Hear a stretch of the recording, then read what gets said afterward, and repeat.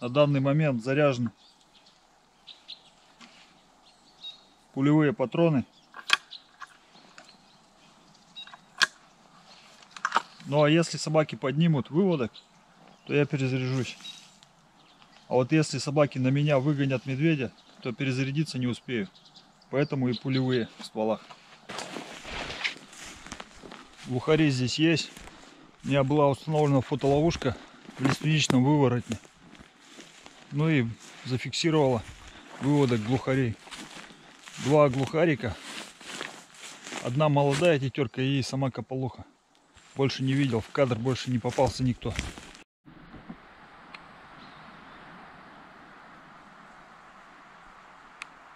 В общем, подняли одного глухарика, старого самца.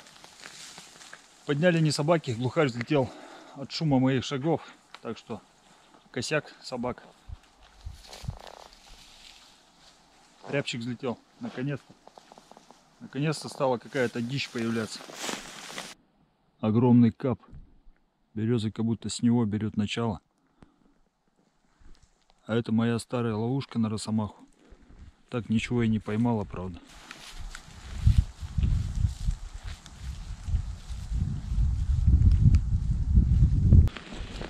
Пошел дождь. Надеюсь, он ненадолго, иначе он мне всю малину попортит. Находимся на дощатой.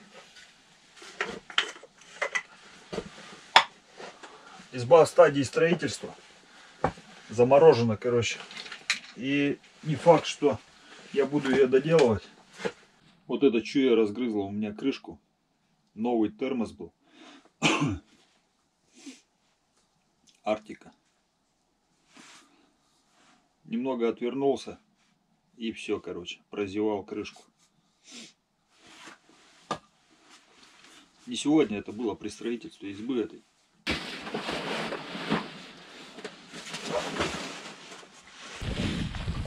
Опять дождь.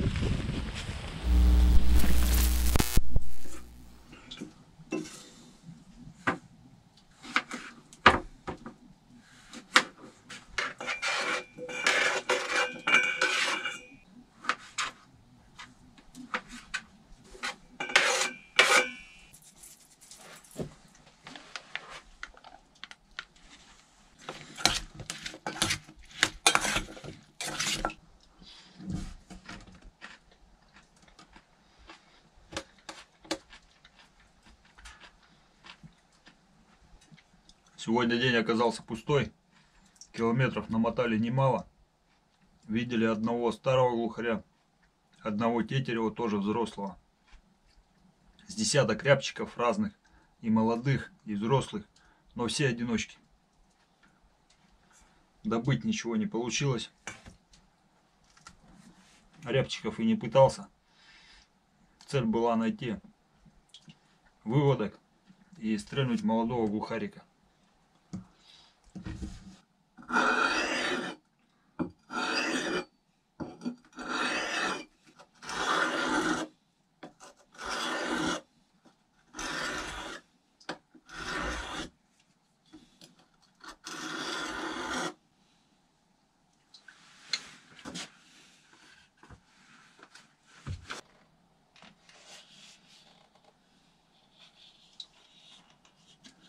Подарили мне спарку якутских ножей.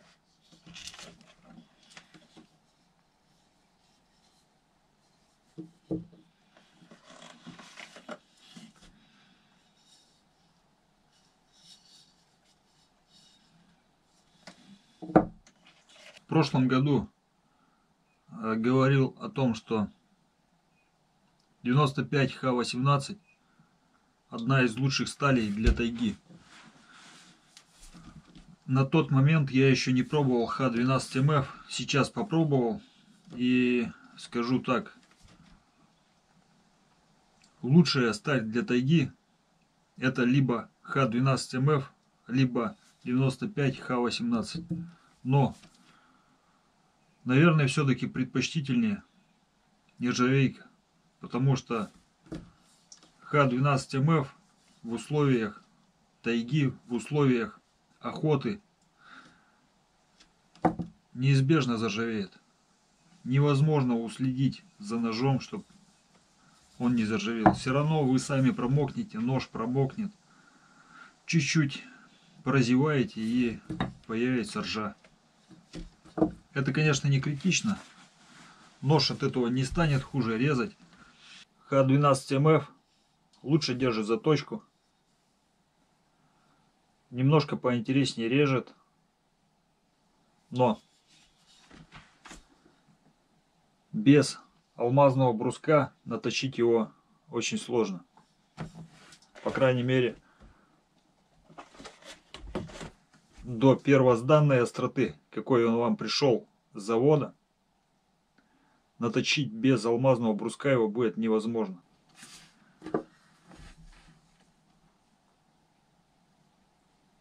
Ножи, конечно, шикарные. Я, честно говоря, даже не знаю их цену, так как это подарок. Особенно мне нравится вот такой нож. Я уверен, что он у меня приживется, и я найду ему применение.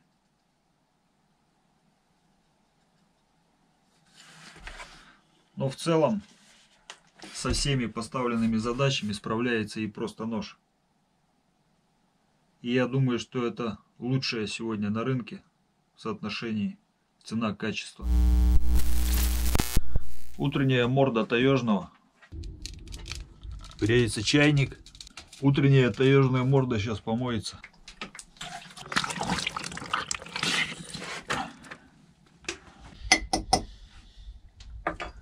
Кружечку чая с печеньем, например. Или вот с тортиком. Остался тортик у меня. А вот после чая почистим зубы, заправим термос и выдвигаемся в дорогу. Сапоги самые обычные. Дюна. Не знаю, что про них сказать. Не хорошие, не плохие. Обычные сапоги, резиновые.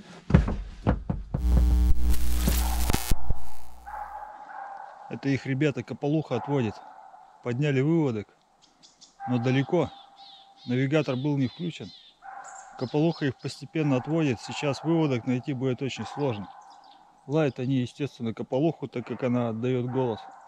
Кополуху сейчас трогать крайне нежелательно, потому что молодежь еще не приспособлена к жизни на все сто процентов. И не факт, что выживет. Да и вообще Кополух трогать молодых туда-сюда, если вам нужно, то в принципе, можно забрать, потому что они все равно, скорее всего, что не переживут эту осень. Молодцы, молодцы, молодцы, хорошо, хорошо. Молодцы, молодцы.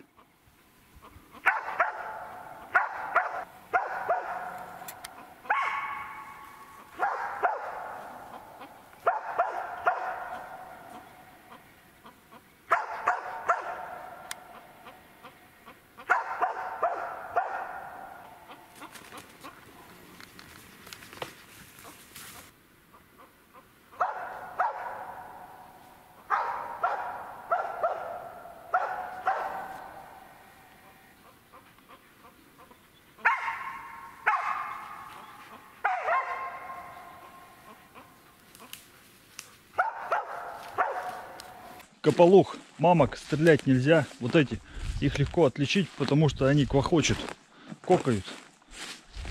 Молодежь найти не получилось. Одна кополушка маленькая, но нам нужен петушок, нам нужен глухарик молоденький. И надо, чтобы собаки его работали, а просто так стрельнуть. Хотя просто так тоже можно стрельнуть. Собаки увидят, почувствуют, дать подержать им в зубах. Но лучше, конечно, сделать его из-под собак. Муравейник представляет из себя гору песка, а хвоя только на верхушке. Обычно он весь из хвои у нас. Во все стороны от муравейника идут трассы. Не хватает только кольцевой, как вокруг Москвы.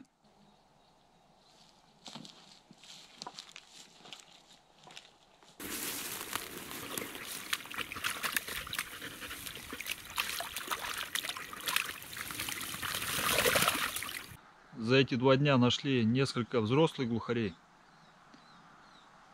Один глухаринный выводок, но вычислить молодого глухарика там не получилось. Рябчиков тех со счету сбились, сколько их было. В основном, кстати, одиночки. Ни одного выводка я не видел. Может быть, собаки там где-то разгоняли. Один всего лишь тетерев. И дважды подняли лосей. Хорошо, что в вязкости у разбоя всего на полтора часа максимум. По крайней мере, в эти два раза было так. Если лоси стояли бы плотно, то, возможно, и подольше он поработал бы. Если бы был со мной Алтай, то это затянулось бы на 24 часа, как минимум.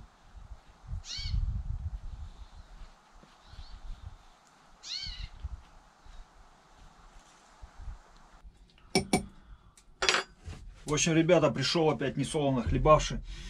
Собаки никого не облаяли, кроме белки. За белку получили люлей. Ну так, символически.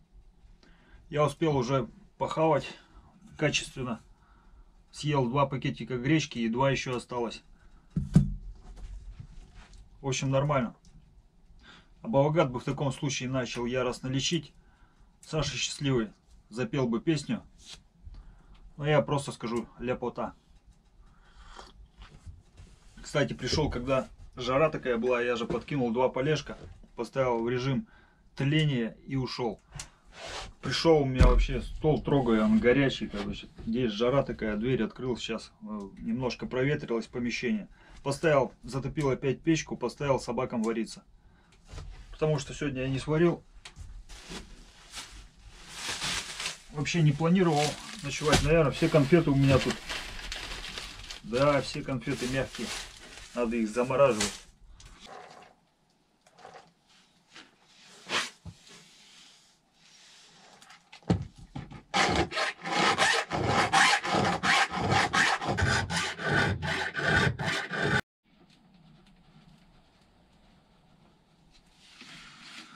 Вы, ребята, не задумывались, что именно нас манит на рыбалку, на охоту? Неужели нам так нужны трофеи? А что, если охота или рыбалка безрезультатна? Мы что, от нее не получаем удовольствия? Еще как получаем. Так вот, что именно нас манит?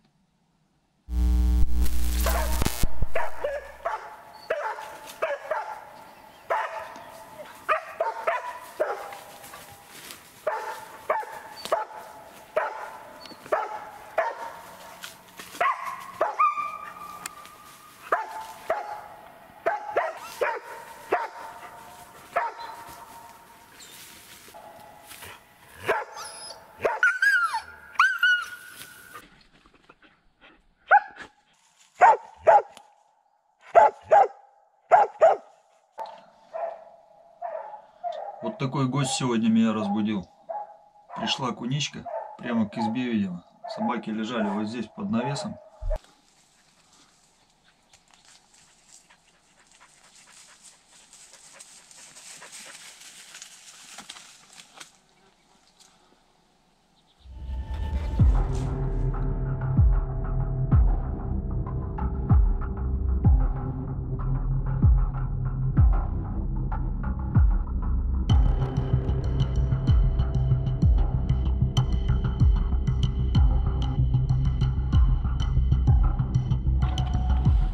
Заработал.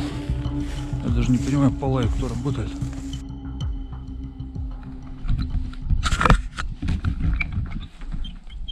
Вот, ребята, сидит глухарик. Стрельну, наверное, чтобы собаки почувствовали запах.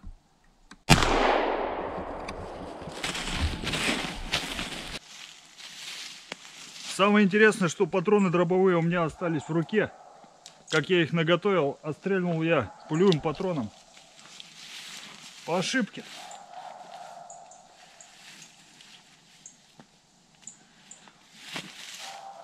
Попал в шею.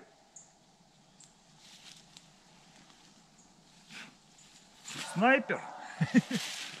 Случайность, конечно, случайность.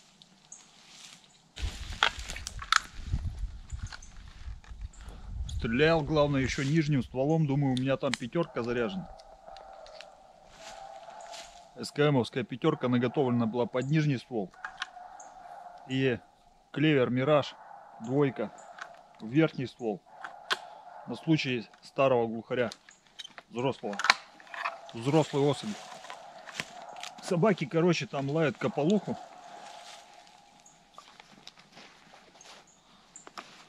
Думал, на выстрел прибегут. Не тут-то было. Такой вот бухарик. Маленький, молоденький. Очень вкусное мясо у них сейчас. Убирать не буду. Пойду сейчас с этим глухарем туда, к собакам. Надо как-то показать. Еще один глухарик слетел только что. Улетел в том направлении. И помимо этих двух глухарей еще две или три кополушки маленьких, молоденьких был. Вот он глухарик. Вот он ваш глухарик. Все, все, все, все, нельзя кусать так. Нельзя кусать. Все, молодцы. Все, все, все. Сейчас по лапке получите. Заслужили. Хотя и проворонили глухарика. Как вам объяснить, что надо черных лаять только? Только черных.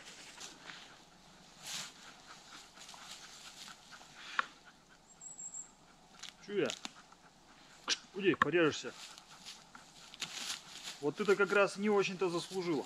Нашел разбой.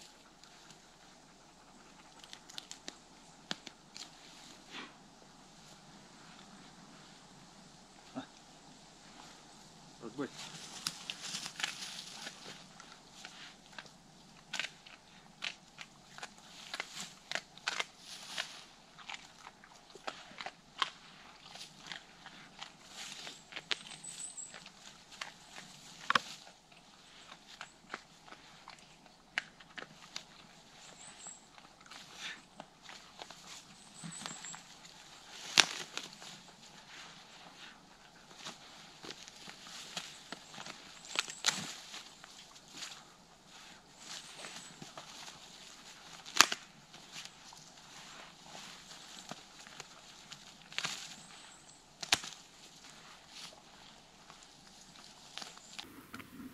Содержимое зоба глухаря.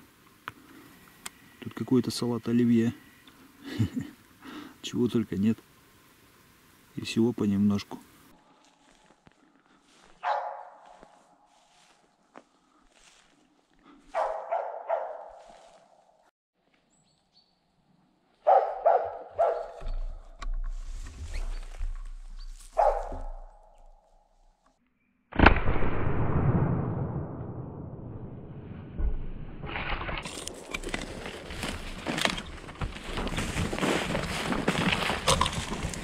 Все, молодцы. Все, брось. Разбой брось. Брось, сказал. Все, молодцы. Ружье на предохранителе. Все, нельзя. Нельзя. Удалось им каким-то образом второго глухарика найти. Здесь уже грех было не стрельнуть, потому что собаки работали, собаки нашли. Да, дружище. Причем работали вместе. Первый залаял разбой. Потом подключилась чуя. Наверное, глухарь пытался на них тут кряхтеть, ругаться. Из-за этого они... Хотя не знаю, это только мои предположения. СКМ, индустрия, патрон использовал получока. Ну, расстояние это тут совсем ни о чем. 20 метров от силы.